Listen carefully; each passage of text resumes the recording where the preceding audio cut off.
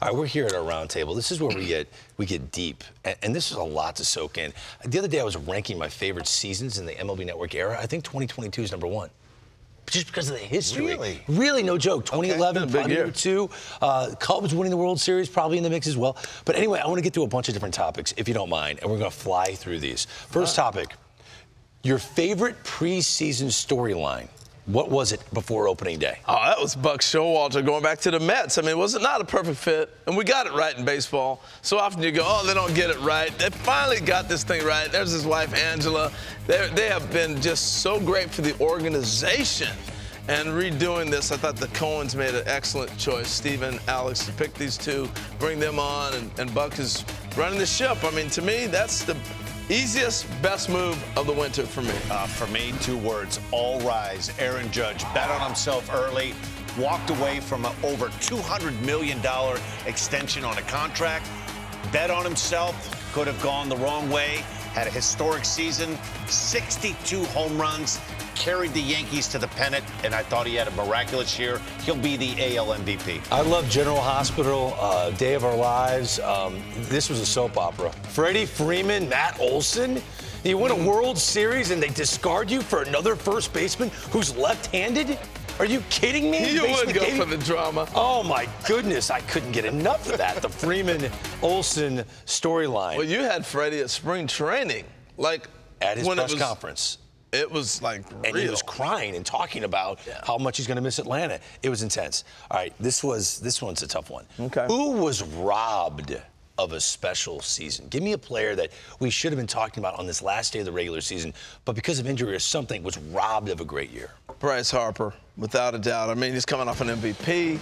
He's got a team, obviously, that's a playoff team, which they proved, and he was rolling in the heart of things. Then when he got hit by that pitch, right there off Blake Snell and broke his hand. He, he worked his way back. We're just starting to see Bryce Harper come all the way back around. That's why he was so frustrated, because he was having an amazing year on way to back-to-back MVPs.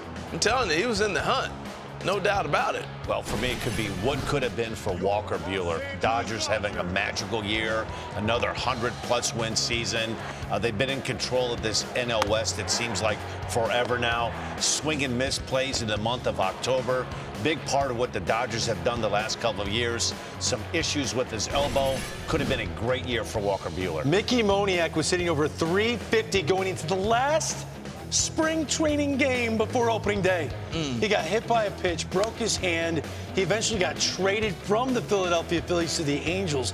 It was finally time for Mickey Moniak, the former number one pick, to thrive. He was tearing the cover off the ball in spring training. I felt so bad for that kid. Oh, then it got hit again out in Anaheim. Yeah, I, I know, I know, I know. Yeah, um, rough year. We get a lot of things right, and we'll get into that in a second. We do. We make a lot of great predictions, but we also sometimes mess up and we get things wrong. Mm. So let's dive into that. In the regular okay. season, Harold, what did you get wrong this year? Uh, Julio Rodriguez uh, should be sent down to the minors when he was scuffling in April. But he turned it all the way around. You know how well he turned it around? He turned it around to the point he got a 16-year contract. that's how much he turned it oh, around. Oh, that's how wrong maybe, you were. Well, maybe the greatest turnaround in the history of our sport. Think about it. Hey, he scuffled early. Go ahead, Dan. Albert Pujols. I was on record early on, Greg. We did our preseason show. One of our, our prognosticators, that's what I am. I was dead wrong. I didn't know if Albert would get enough at bats. You not only said he would get it, you said the day he was going to get it against the team that he was going to get it.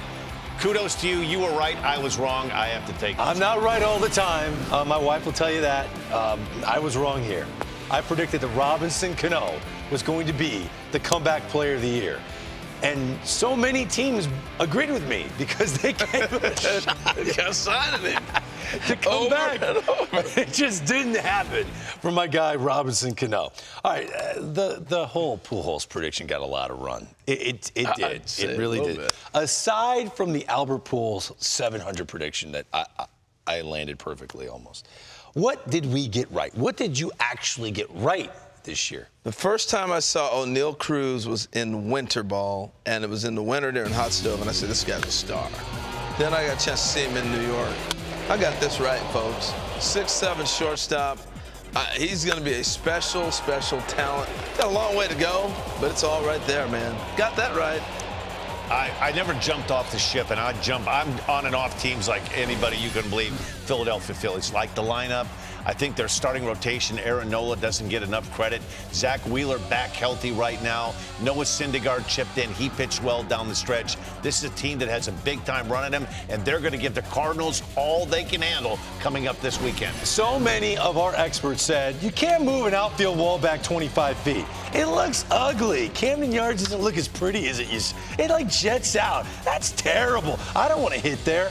Their home record went up dramatically. They almost made the playoffs. I said that before the season started. Try something different. Your pitchers can't get anybody out. They can't keep the ball in the yard. It worked. Their ERA went down dramatically. I got that right. Okay, give you that. I did. The most disappointing moment in, in, in a season, like you said earlier, baseball is, is a, a sport of failure. So there's a lot of disappointment.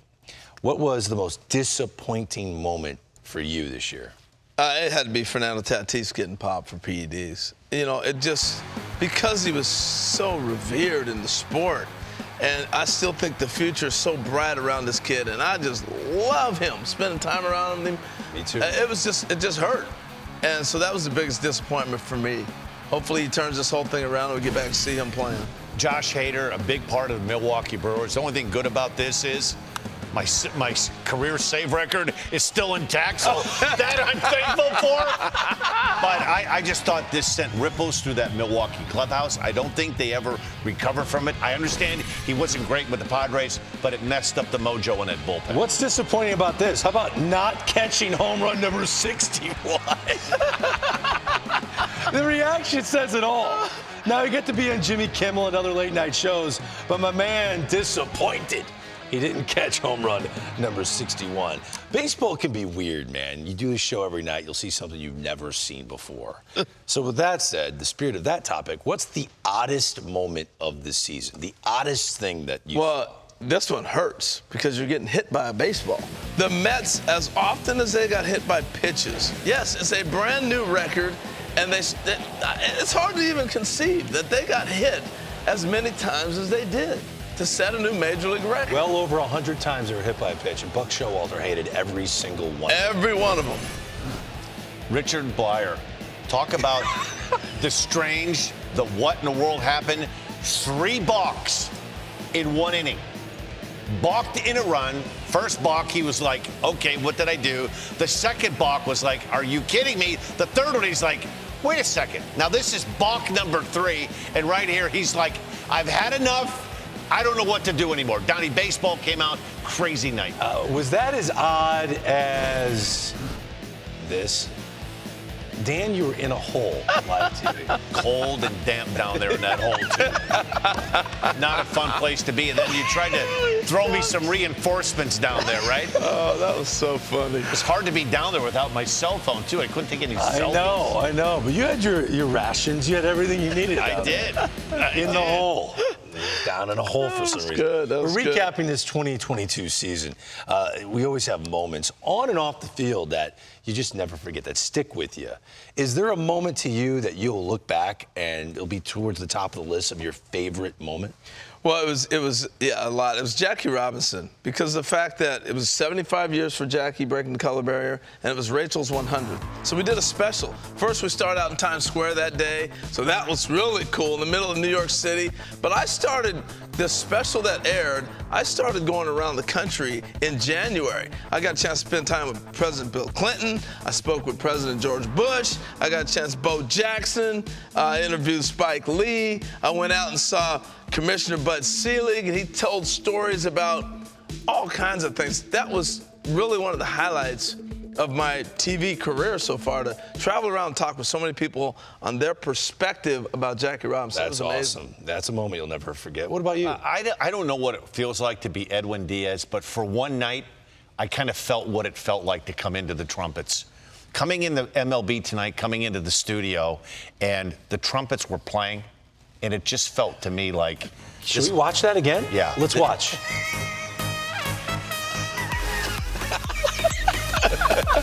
that that that was that made my night. And Harold was just on cue with the trumpet. He took a couple lessons before. He did. was brilliant. Our closer has arrived. that was so much fun. My moment of the year, Oh, to man. me, it, it- it changed the All Star game completely.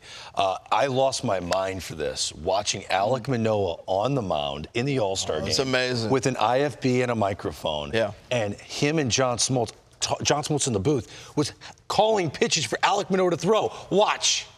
You're going to strike out the side in the All Star game, What do you want me to do it on, though? John? John, what do you want? Back foot slider, down and low. Oh, you're sexy. Here we go. No. yeah.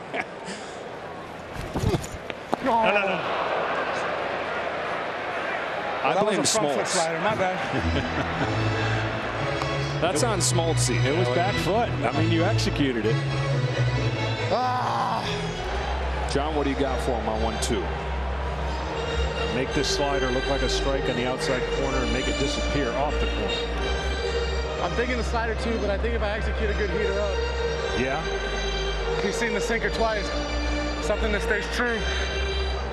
Might throw him off a little bit. I think we're gonna go with that. Let's see what Curry calls. Right down the middle, but we'll take it. Three punches. Let's go. Alek, congratulations. Thank you for doing this. You're the best, man. This, I'm, s- uh, that that's to me, and I, I thanked Alek Manoah for wearing that. It took fans inside the game like we had never been before. Yeah, it it's was so great.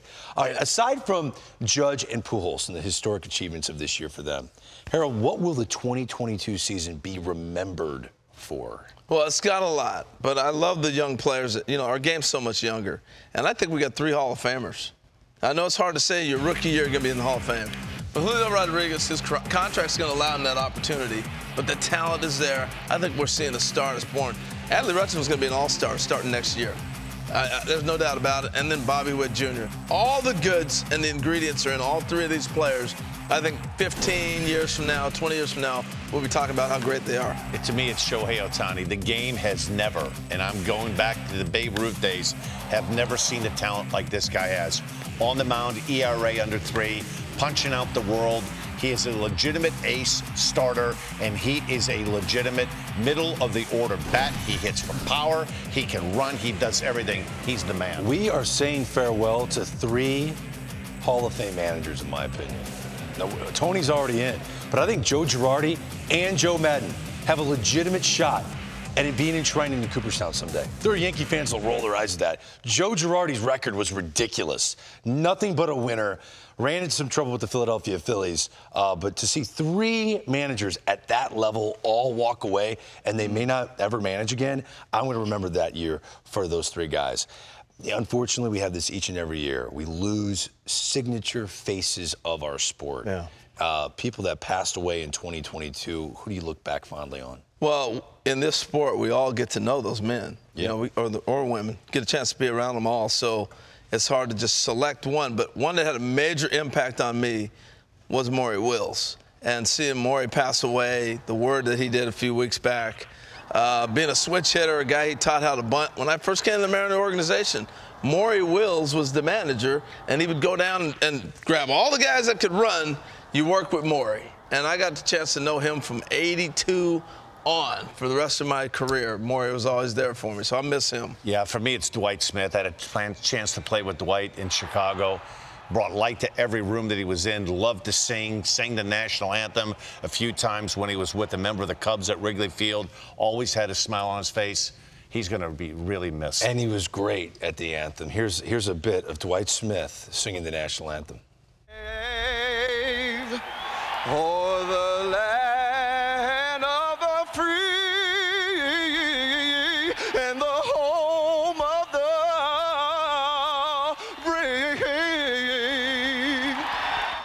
I'll tell you, I played with Smitty in Anaheim with the Angels, and he used to think he was Luther Vandross. I'm telling you, he would sing through the clubhouse, and he'd say, "What song you want?" He was the best, man. Gonna miss him dearly. Well, as a broadcaster that gets to cover the sport of baseball, you you can't think of the, you know, the Mount Rushmore of broadcasters without starting with Vin Scully. And the late Vin Scully was a national treasure.